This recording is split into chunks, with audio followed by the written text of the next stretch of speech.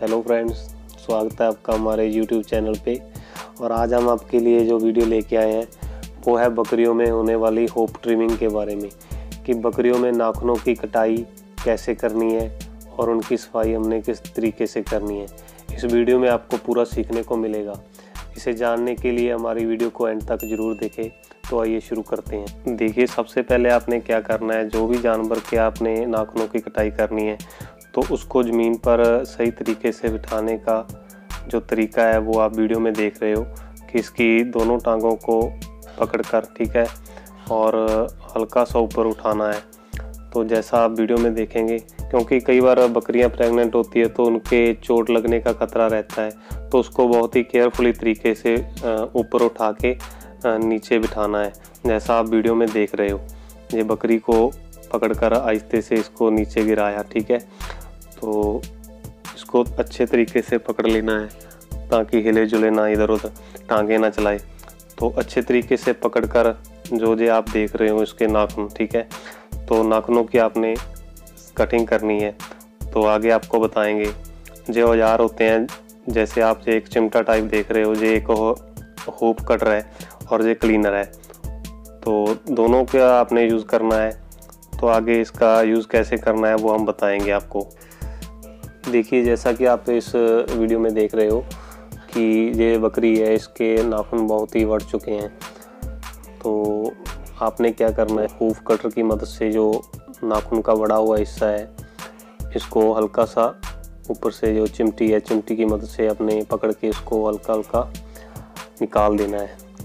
क्योंकि आपने एक बात ध्यान रखनी है, क्योंकि जो भी ये ये खुर होते हैं, खुर का जो पिछला हिस्सा होता है, इसमें जो मांस होता है, वो बहुत ही सॉफ्ट होता है अपने वो नहीं कटिंग करनी, उसका जो फ्रंट साइड है, जो खुर की अगली वाली साइड है, बड़ा हुआ हिस्सा नाखून का तो वो ही आपने कट करना है। और इसके बाद जो क्लीनर है, इसका क्लीनर की मदद से आपने उसकी पूरी सफ़ाई कर देनी है। तो ये बात आपने ध्यान रखनी है। कि ज़्यादा आपने नहीं कटना जो बड़ा हुआ हिस्सा है, वो ही आपने करना है। क्योंकि हुप कटर से आपने खुर की पूरी सफ़ाई कर देनी है, क्योंकि इस खुर में अगर गंदगी पैदा होगी तो जख्म हो जाएँगे। जख्म की वजह से जानवर चलना, फिरना बंद कर देता है। तो जख्म पैदा होंगे तो FMD की जो प्रॉब्लम है, वो क्रिएट होगी। तो इसलिए आपने ये बड़ा हुआ हिस्सा पूरी तरह क्लीन कर देना है, साफ़ करके। क्योंकि ये प्रॉब्लम जो आप देख रहे हो जो स्टॉल फीडिंग पे रहते हैं, जो भी जानवर फार्म में तो उनमें ज़्यादा आती है। जो बाहर चरने जाते हैं तो उनके तो अपने आप जे क्लीन हो जाते हैं। तो देखिए, जो आप देख रहे हो इस वीडियो में, इसका फ़र्क, जो क्लीन किया हुआ है, वो ऊपर का हिस्सा, जो जिसकी सफ़ाई हो चुकी है तो उसका कंपैरिजन हम बता रहे हैं, जो बड़ा हुआ हिस्सा है दोनों नाखनों का। तो इतना फ़र्क पड़ जाता है इनको क्लीनिंग के बाद, इसकी कटिंग के बाद।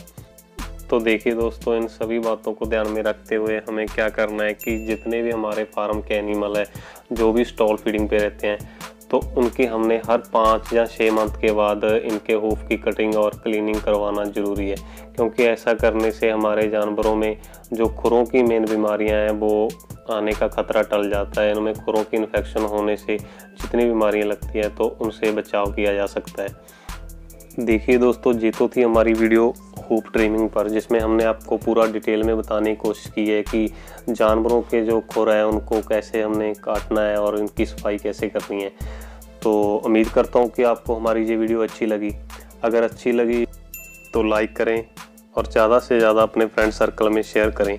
धन्यवाद।